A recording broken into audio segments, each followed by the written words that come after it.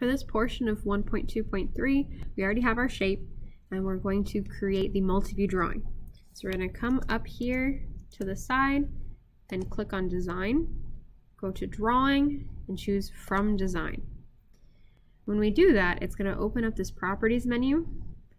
Currently, most of these are fine, but we do want to change the sheet size to what it says in our activity, which is our A size, 8.5 by 11.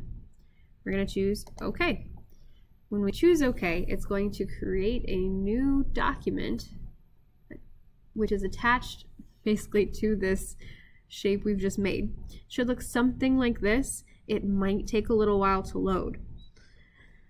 But once it does load, you'll notice on your cursor, it's going to ask you to place your base view and it's going to show what the front of your object was. So if you chose a different plane when you started, this is going to look a little different. If that happens, you can change the orientation in this list down here so that you can get the correct view. But as long as you made it the same way, this would be our front. Okay, we're going to click to drop our base view down. We don't need to change anything else for this menu right now. We just need to hit OK. And if you notice, it's going to change to these line views and it's going to include the hidden lines for the hole that's through our shape. Then what we need to do is we need to add our top and our side. So we're going to bring our cursor up over to the drawing panel up in the corner here and we need projected view. So we're going to choose projected view and we're going to click on the parent view, so that's the original view that we already made. And then it's going to bring another view on our cursor. If you notice, the line is going straight up from our original view to make sure it's in line with the original, just like before when we did it on paper. We're going to click to set it down. Okay, if we move our cursor again, and we move our cursor to the side, we're going to see it's going to change and turn this shape again. If we click again, it'll set it down.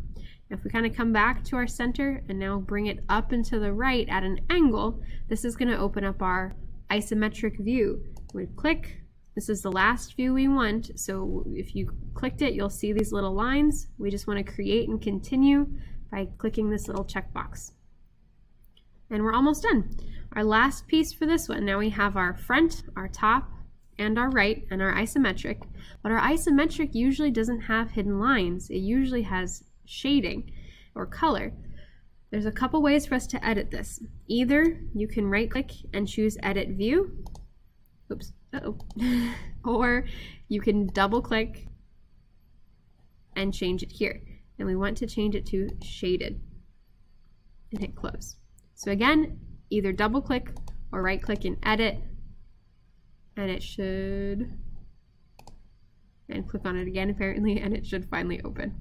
Right, we close and this is the whole thing. We're gonna hit save. It should add drawing to the name you already had for your shape.